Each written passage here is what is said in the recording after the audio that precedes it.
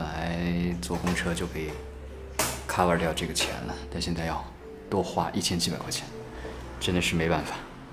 昨天有多嗨，今天有就有多打脸。发现人家那个车只有在周六周日才运营，今天是没有的，今天是周一。一大早起来路上还很安静，不过今天天气真的是挺好的。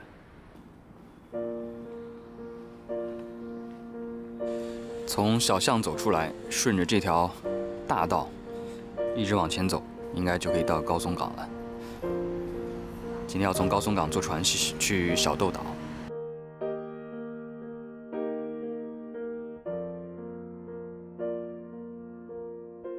对面这边可以看到他们的路面电车秦品秦秦电，然后呢这一站叫高松驻港，所以如果说是不走路，也可以坐这个地面呃路面电车到高松驻港这一站，然后下车往前走就是高松港了。刚看到车里面有很多人下来，乘船的码头，这边呢其实它是。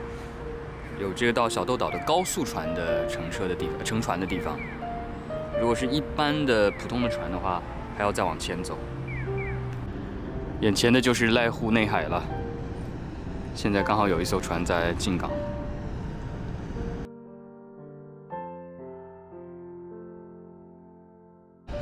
看起来等下要坐的好像应该就是这艘船，到小豆岛的。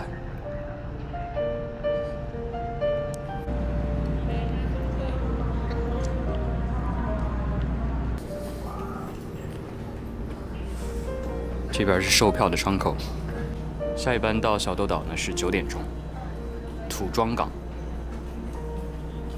基本上看起来时间的话，一个小时两班左右，差不多半小时左右一班吧。等下要坐的就是这辆船了。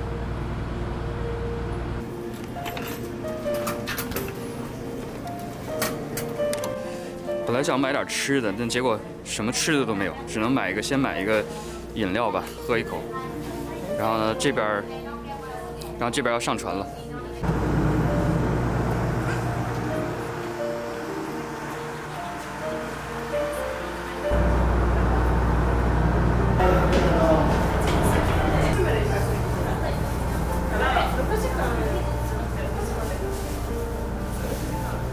船舱还挺大的。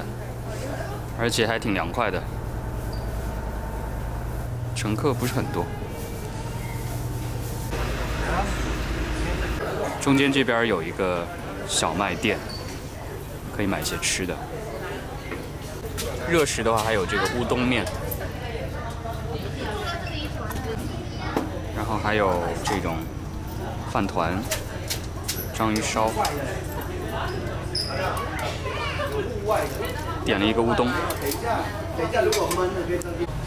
刚刚好像还没什么人，但是好像突然上来了一个台湾来的旅游团，所以一下子人多起来了，热闹起来了。最后选了一个四百五十块的这个海带的乌冬面，香川县的乌冬面还是挺有名的，乌冬线嘛。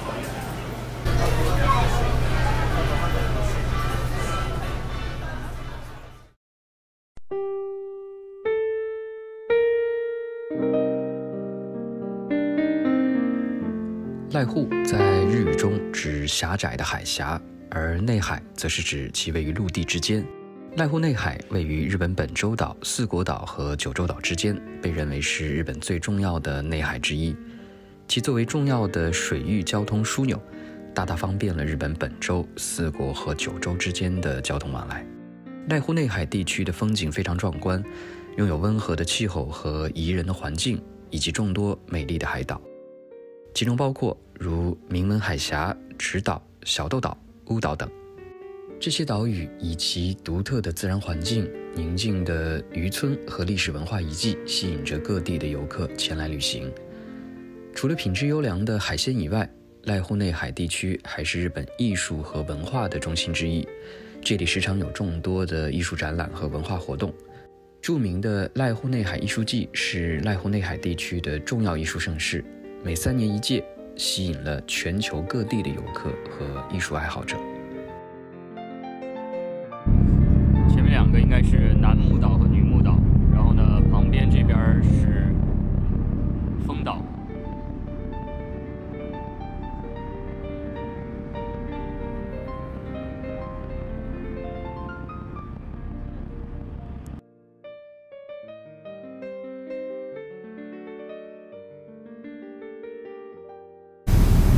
手边的这边就是小豆岛了，开过来需要大概一个小时的时间，但是其实挺近的。然后小豆岛面积在濑户内海的这种离岛当中算是非常大的了，应该。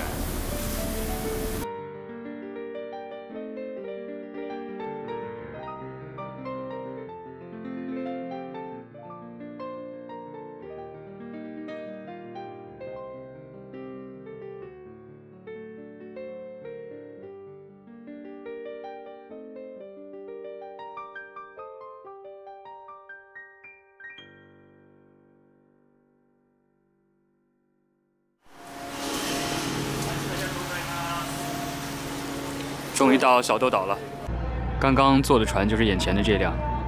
然后，因为小豆岛呢是以橄榄比较有名的，种植橄榄比较有名的一个岛，所以呢，一下船，港口边就有这样的一个，这应该是橄榄叶吧，这样的一个标志。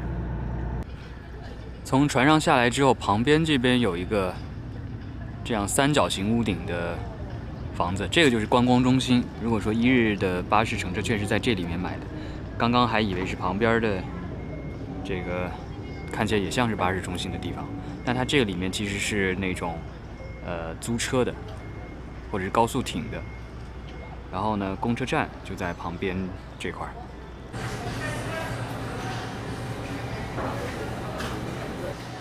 巴士的那个一日乘车券是在这个观光中心买的。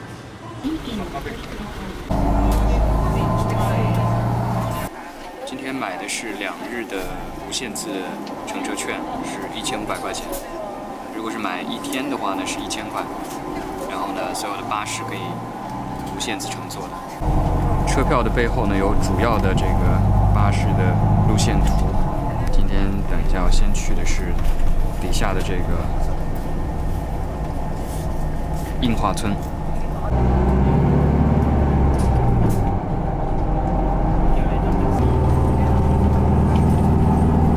真的是沿途可以看到非常多的橄榄树。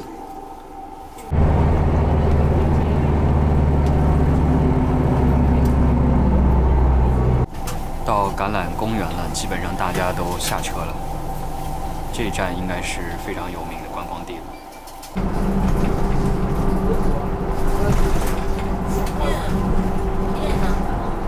本来是有这个巴士可以到硬化村的，但结果今天因为有那个。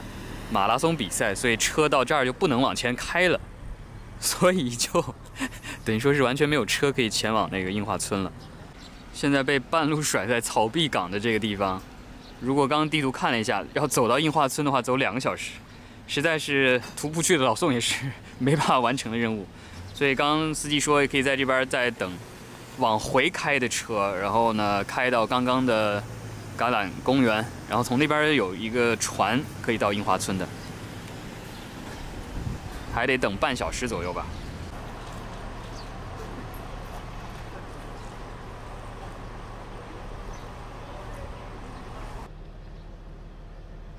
日本的这些公车真的是靠不住，不租车的坏处的话，就是有可能会遇到这样的情况，挺浪费时间的。现在。再坐车回到刚刚的橄榄公园，大半天都过去了，然后一个景点现在还没到。刚刚那个司机师傅介绍的应该就是这个渡船，直接可以坐渡船十分钟，直接到映化村。估计是在这里边买票吧，看一下今天有没有船。这边可以坐船过去，大概十分钟，但是呢就要额外花钱了，而且挺贵的。一个人往返的话，那是要一千七百块的。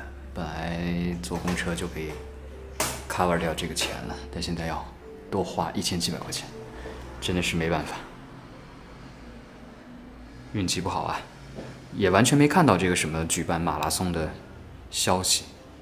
好像这个船就是前面这个小的码头，这地方，然后这船也是没有时间的，不定时的，应该是有船，然后有乘客他就发，然后还刚刚还给了个电话，就是说你如果回程的时候找不到船，可以打电话，就是这样的一个小船。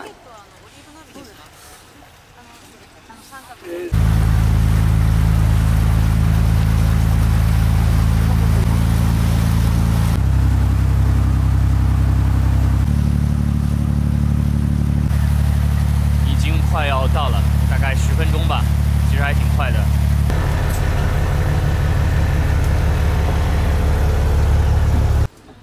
这边就是到映画村了，然后这个地方其实它刚刚的七百块是属于叫入村料，也就是景点景点门票吧，就是说你坐巴士过来应该也要是要付也是要付这个钱的，所以就等于说是多付了一千块钱的往返的船票。果然今天是马拉松。还是挺多人跑的，所以这个路被封起来了，然后巴士也走不了。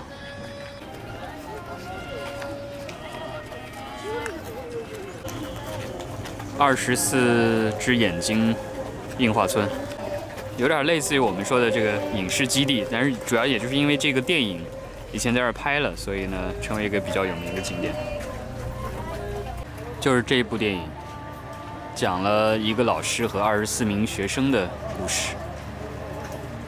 然后当年九四呃五四年上映的那一年是电影讯报的排名第一的电影。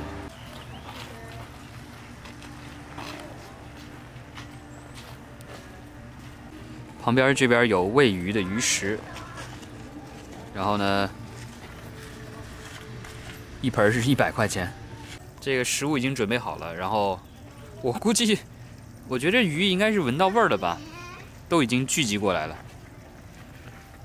你看这鱼，哇，超级大，张着大嘴就过来了，给它喂一点吧，立刻就被吃了。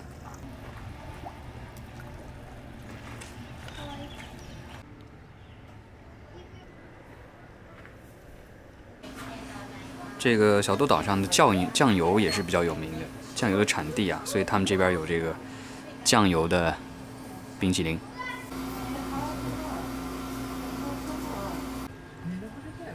酱油的冰淇淋，尝一尝味道怎么样？嗯，其实还挺好吃的，确实有点像那种焦糖的感觉，焦糖的口味，不是很咸，挺好吃的。岛上的话就是这种橄榄比较有名，所以有很多这种橄榄的拉面。然后这个是橄榄的巧克力，这边店里还有放当时电影的画面。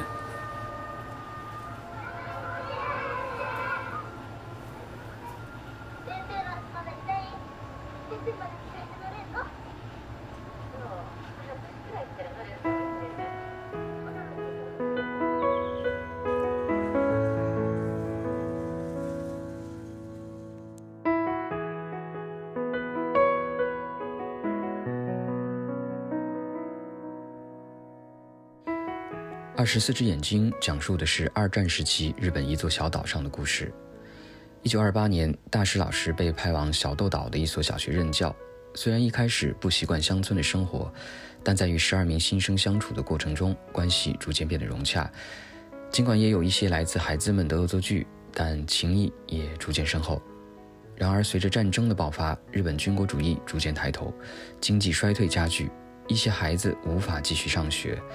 婚后的大师老师对军国主义教育感到厌倦，便选择了辞职。战争期间，学生中有一半的男孩牺牲，大师老师的丈夫也在战场上去世。战后，中年的大师老师重新回到小岛的小学任教，他的学生中有很多是他曾经教过的学生的孩子。每当他念出学生们的名字时，内心充满了对往昔的回忆和对现实的悲伤。非常矮的小课桌。然后这边还有讲台，黑板。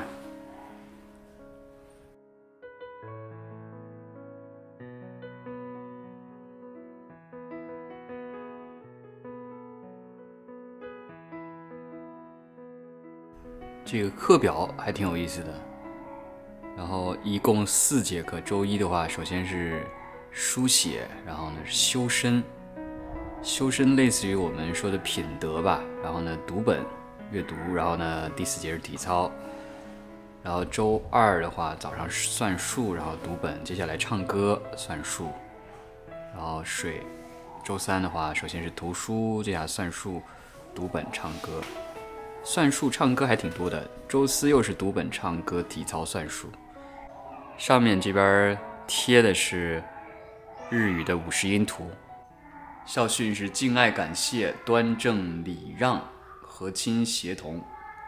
课中。课校，讲台上还是还有老师的这个出席表、出席签名表，一共有十二名学生。电影里面也是这十二名学生。影片一方面展示了底层人民之间真挚而温暖的关系，另一方面也对战争的悲剧和军国主义的残酷性进行了反思。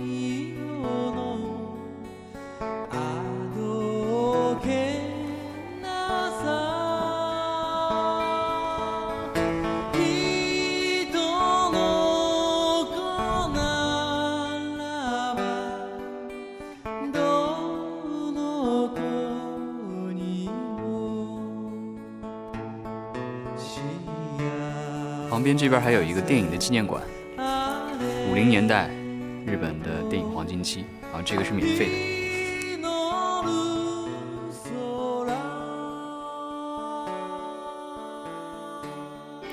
这里边还有这个学生的午餐定时，可以尝试一下。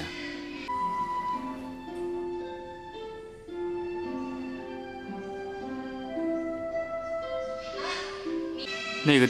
年代真的是有很多日本有名的导演，像这个黑泽明啊、罗生门，然后小金二小金恩二郎的这个《东京物语》，那个年代都特别有名。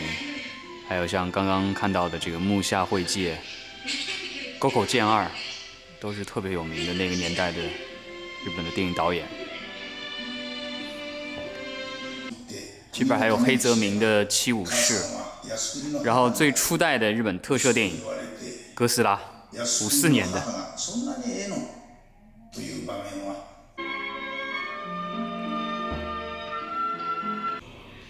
点了一个这个刚看到的日本孩子学学生的这个午餐套餐，还挺贵的呢，这个九百八十块。然后一个面包，一个牛奶，一个橘子，一个咖喱饭。这个咖喱啊，真的是就是非常稀的。汤水儿，觉得小孩能吃饱吗？然后呢，一个炸面包。如果有时间的话呢，旁边这边有一个松竹座，呃，然后呢，它一直在放映这部电影，可以直接在这边看的。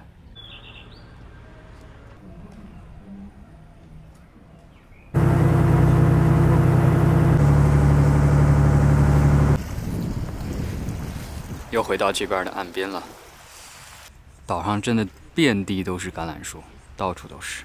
橄榄公园的话，要往山坡上爬一段时间，然后这边两边全部种的都是橄榄树。山坡上就是橄榄树的树园，然后这边的这建筑感觉就是有点这种。希腊的风情。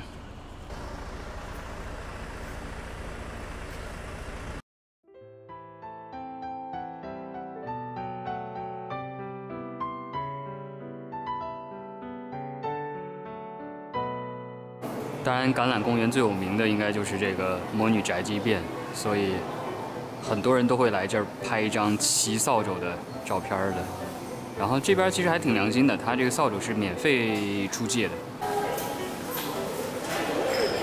感觉跟这种丐帮聚会似的，大家一人拿个扫帚，还 挺有意思的。这边就是大家凹造型拍照的地方了，一人拿个扫帚，感觉怎么围观的人很多，没有人跳呢？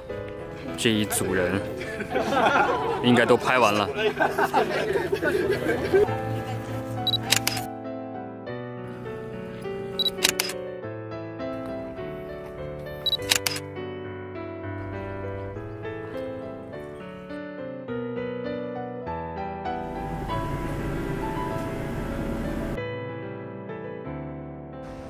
今天晚上订的酒店是这一家海庐，然后呢，先去酒店把行李放下吧。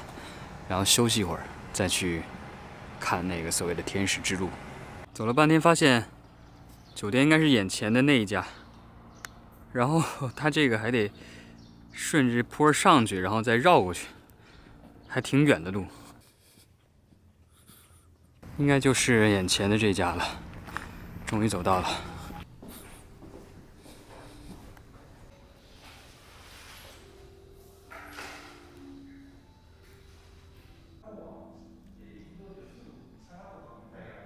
这酒店大厅还挺漂亮的，然后呢，从大厅其实就直接可以看到那边的天使之路。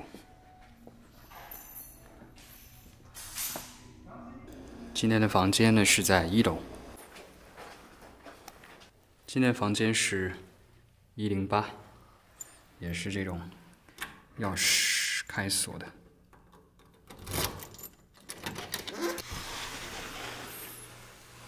哦。虽然是不大，但是感觉看起来挺干净的。这边是一个小的桌子，上面应该是柜子吧。然后旁边床已经铺好了，电视机挺小的。然后窗外就是海景。啊，这边就是可以看到天使之路了。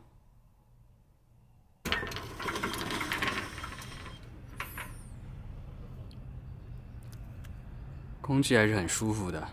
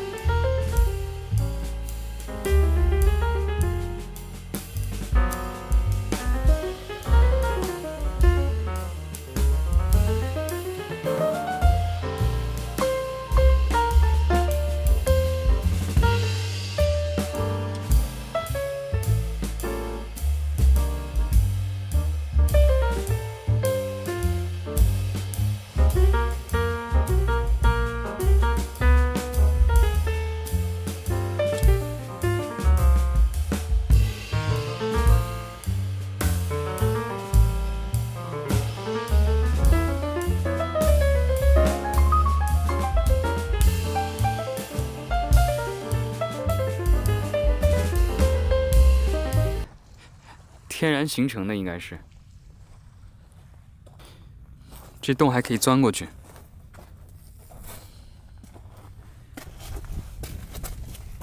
哇，有一条蛇，有点吓人。这蛇好像是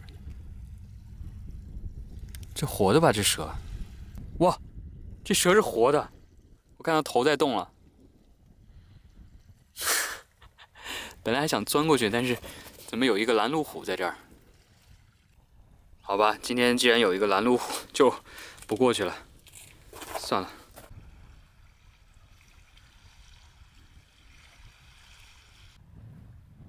现在的温度也特别舒服，然后刚好是夕阳西下的时候，风景也特别漂亮。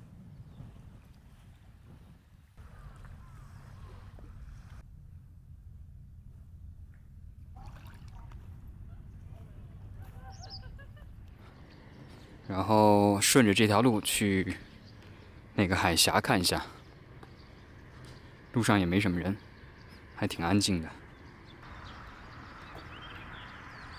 看着这个挺朴素的建筑，开始还以为是什么，结果仔细一看是弹珠店。一般日本的这种弹珠店都搞得外观特别的五光十色的样子，特别华丽。但这家真的是挺朴素的。走过来之后，看到远处的夕阳，真的是特别漂亮。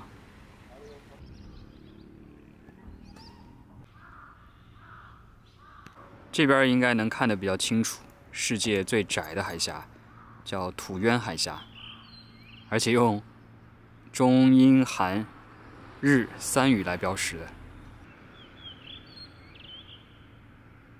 这边有中文的解释：土庄小镇的前岛和小豆岛本岛之间的土原海峡，是一九九七年吉尼斯世界纪录评定的世界最窄海峡。最窄处九点九三米，地图上看的话就是这个地方，土庄港所在的前岛和旁边的小豆岛本岛之间的这个海峡。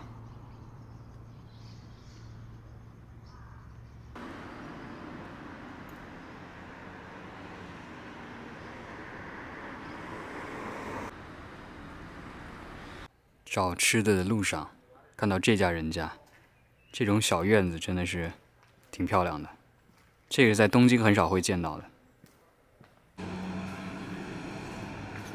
小岛上就是这样，然后白天游客一走到晚上就特别的安静。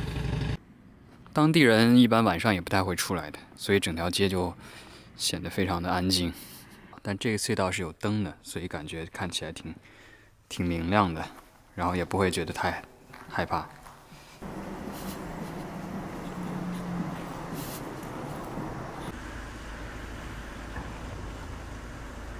刚那家店本来要去吃的，结果人家已经满了，没有预约不让进，只能是这家了。这边店挺少的。然后呢，最后就点了一个这个铁板海鲜的套餐，这个还挺贵的。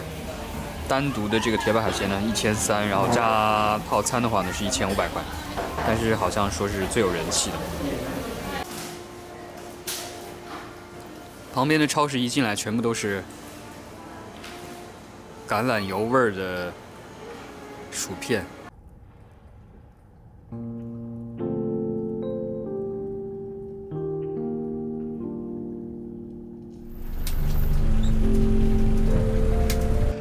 昨天有多嗨，今天有就有多打脸。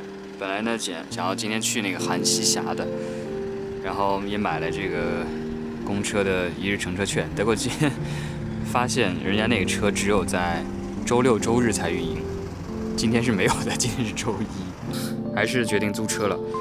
呃，四千八百块，不算油费。